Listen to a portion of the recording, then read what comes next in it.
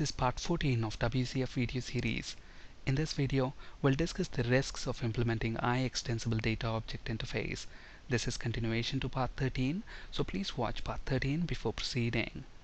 In part 13 of this video series, we discussed how to implement iExtensible Data Object Interface to preserve unknown elements during serialization and deserialization of data contracts.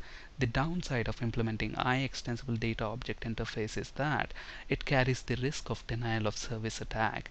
Since the extension data is stored in memory, the attacker may flood the server with requests that contain large number of unknown elements, which can lead to system out of memory and denial of service. So the next question of how to turn off iExtensible Data Object feature arises.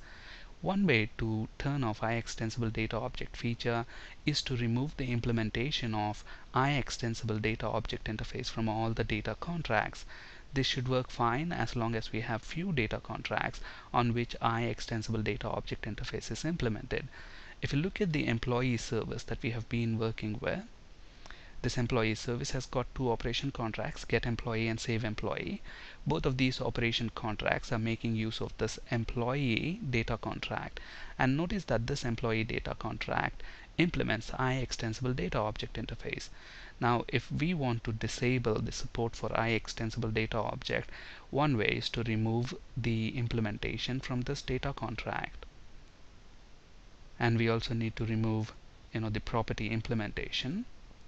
Now this will work fine for us just because we have only one data contract that implements iExtensible Data Object Interface. But just imagine if we have large number of data contracts within our application that provides implementation for iExtensible data object that means we have to go to each and every data contract and remove the implementation which is tedious and error prone so the WCF team at Microsoft has thought about this and has provided us an option to enable or disable support for iExtensible data object feature through service behavior configuration. So we basically include service behaviors element, give the behavior a meaningful name, and then use this attribute ignore extension data object um, of data contract serializer. So set this to true. It's going to ignore the extension data and using configuration to enable or disable support is much better rather than changing the application code. That's because if we change the application code we need to rebuild our application and redeploy it to the production server. On the other hand if we change the configuration we don't have to rebuild and redeploy. We just need to stop the service and start it once again so using configuration is much better. So with this configuration option later if we want to enable support for iExtensible data object all we need to do is set this attribute to false and we are done. We don't have to go back to each and every data contract and then provide implementation for iExtensible data object interface okay? So at the moment if you look at this employee data contract it's providing the implementation for iExtensible data object which means the service is going to preserve the unknown elements for clients and then when the response is sent back those unknown elements are also sent you know in the XML that is sent back to the client okay? So let's actually look at that in action. Let's run the service host and let's go ahead and run the client as well So let's get this employee 1 and let's specify male as gender for one em employee 1 and let's save this employee with ID 101 save employee. So employee is saved. Now let's get rid of this gender. And look at this. When we get employee that unknown element gender is also retrieved back. And if you look at the database table so 101 look at that. There is no gender but then the service is retaining that with an extension data property and then returning that back to the client. Alright now let's see how to disable support for iExtensible data object using service behavior configuration. So we go to the configuration file of our service and we come to this behaviors element which has got service behaviors within that and we already have a behavior that enables metadata exchange. So here let's add data contract serializer and then specify the attribute ignore extension data object and set that to true. So we are going to ignore extension data. So no matter you know how many unknown elements are there in the request that's coming to the service the service is now going to ignore those extension I mean those unknown elements at the service side. And then when the response is sent to the client you know those unknown elements are lost. Okay? So let's go ahead and stop the host that's already running. Let's rerun the host and let's come to the client. Now let's get employee 1 once again. And let's save this employee using ID 102 so save employee. And look at this. When we get this employee look at that gender is lost because we disabled um, support for iExtensible data object feature using service behavior configuration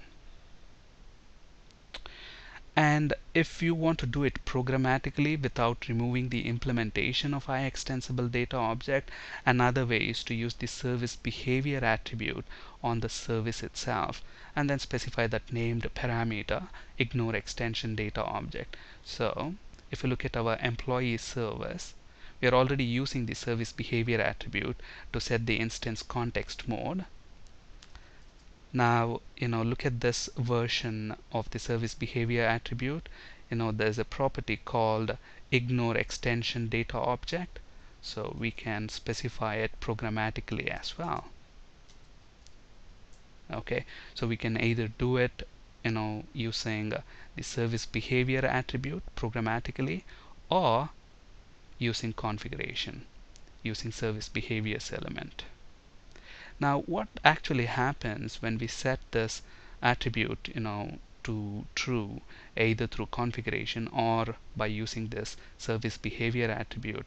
Basically the deserializer will not populate the extension data property okay? So when the client sends a request obviously the request is coming in an XML format okay so when that request is received at the service the deserializer at the service needs to reconstruct employee object from that XML so the deserializer will come into action and then when it finds any unknown elements since we have turned off the support for extension data the deserializer is now going to ignore those unknown elements. It will not store the unknown elements within that extension data property.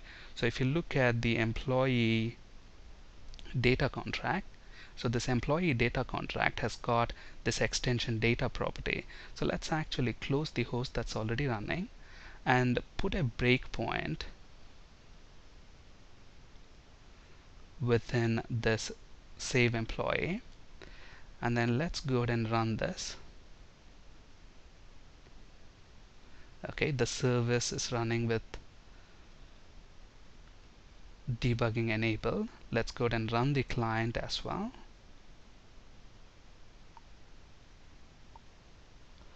Let's get employee 1 and let's save this employee with ID 201 so let's click save employee. Look at that it comes into save employee. And if you look at extension data